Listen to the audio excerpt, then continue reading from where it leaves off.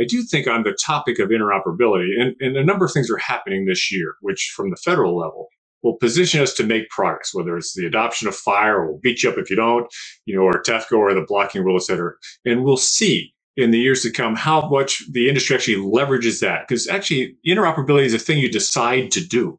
You know, you decide to share data. It's, you know, it's not something that happens automatically because you got APIs, et cetera.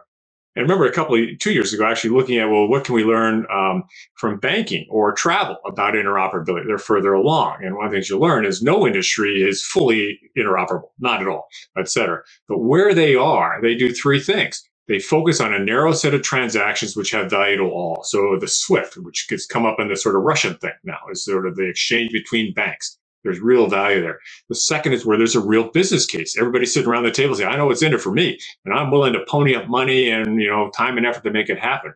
And the third is where there's a body that convenes everybody to hammer through the issues.